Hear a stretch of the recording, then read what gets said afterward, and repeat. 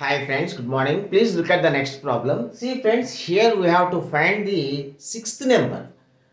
Friends, here second number is related to the first number and fourth number is related to the third number and sixth number is related to the fifth number. So, according to this relation, uh, we have to find the sixth number.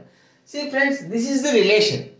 See friends, uh, 5 into 5 into 5 minus 2 whole square. 5 into 5 into 5 minus 2 whole square. 5 minus 2, 3. 3 square 9. So 5 into 9, uh, 45. So 5 into 5 minus 2 whole square. In the same way, 3 into 3 into 3 minus 2 whole square. Friends, 3 minus 2 is equal to 1. 1 square 1. 3 into 1, 3. So 3 is equal to 3.